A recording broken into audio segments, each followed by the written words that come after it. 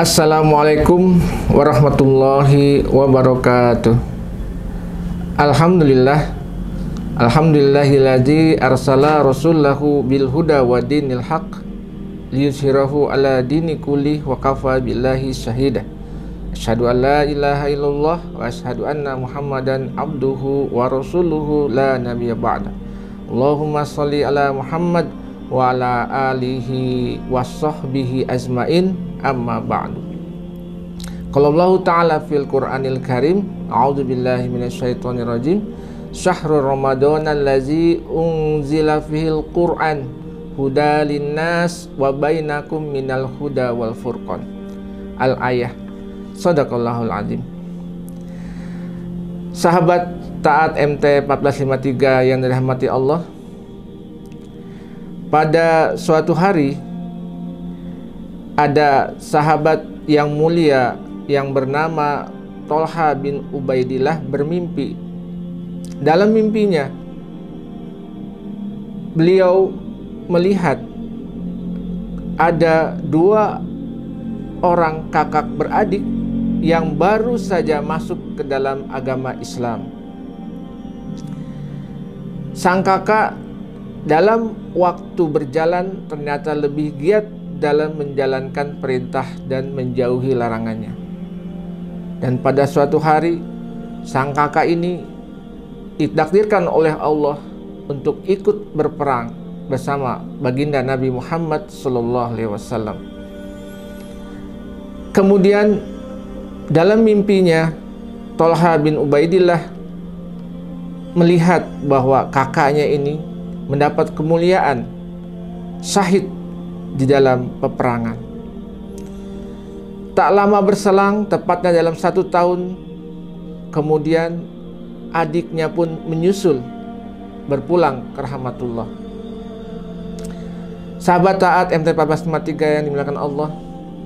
Lalu di akhir mimpinya sahabat yang mulia Tolha bin Ubaidillah ternyata melihat bahwa kemuliaan justru lebih Allah berikan kepada sang adik.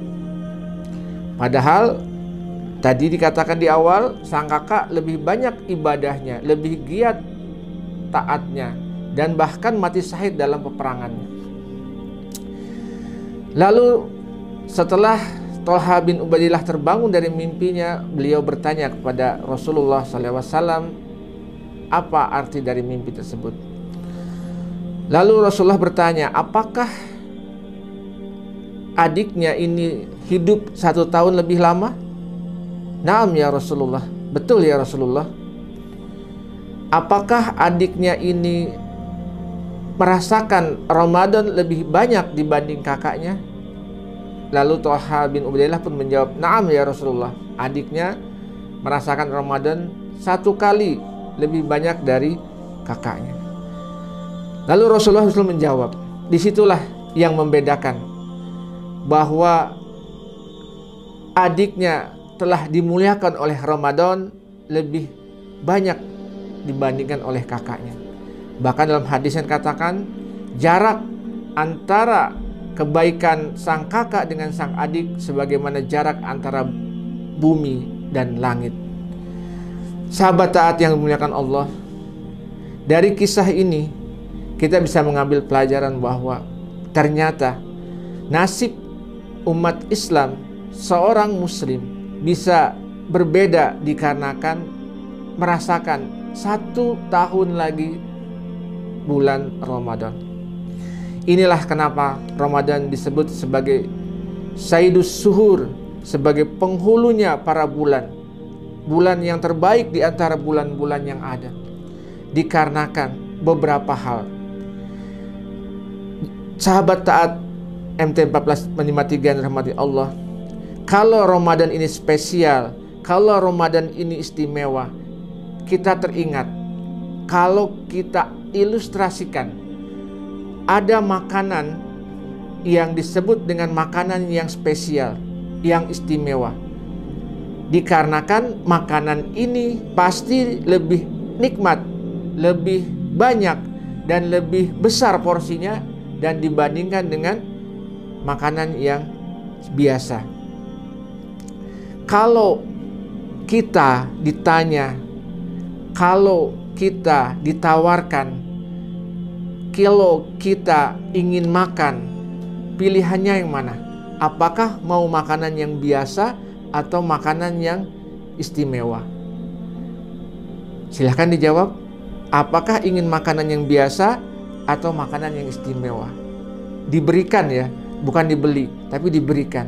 Ketika ada tawaran, makanan mana yang kamu pilih? Tentu kita akan memilih makanan yang istimewa. Contoh, ada martabak biasa dan ada martabak istimewa. Mungkin dari jumlah telurnya berbeda, mungkin dari jumlah porsinya yang lebih besar, atau dari rasanya yang lebih nikmat dan sebagainya dan sebagainya. Begitupun dengan Ramadan. Ramadan ini spesial, Ramadan ini istimewa dikarenakan ada kandungan-kandungan di dalamnya yang tidak ada di dalam bulan-bulan yang lain. Apa itu? Salah satunya adalah turunnya Al-Qur'an. Sebagaimana tadi Al-Fakir katakan, auzubillahi minasyaitonirrajim, sahrul ramadan lazi unzila fihil Qur'an Allah memention kata Ramadan dengan Al-Quran. Dengan demikian, Syailul Suhur istimewa yang pertama adalah dikarenakan turunnya Al-Quran. Demikian yang bisa kami sampaikan. Sampai ketemu lagi dalam kultum yang akan datang. Bil Taufik Assalamualaikum warahmatullahi wabarakatuh.